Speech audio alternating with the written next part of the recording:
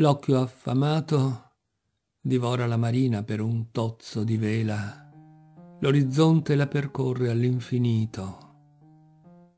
L'azione nutre la frenesia. Io giaccio, veleggiando l'ombra nervata di una palma, temendo il moltiplicarsi delle mie impronte. Sabbia che vola, esile come fumo, annoiata, sposta le sue dune. La risacca si stanca dei suoi castelli come un bambino. La verde vite salata con gialle bigonie, una rete attraversa lenta il nulla. Nulla. La rabbia di cui è piena la testa del flebotomo.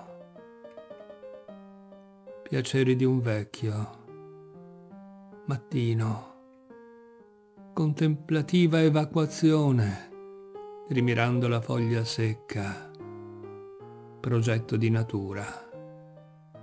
Al sole le feci del cane si incrostano, sbiancano come corallo.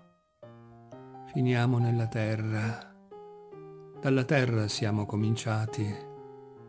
Nelle nostre viscere, Genesi. Se ascolto, posso udire il polipo al lavoro, il silenzio infranto da due onde del mare. Schiacciando un pidocchio marino, faccio schiantare il tuono. Come un dio, annullando la divinità, l'arte e l'io. Abbandono morte metafore.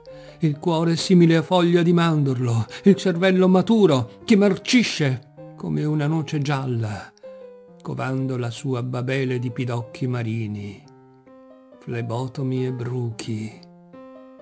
Quel Vangelo della bottiglia verde, soffocato di sabbia, con l'etichetta, una nave affondata. Serranti legni marini inchiodati e bianchi come la mano di un uomo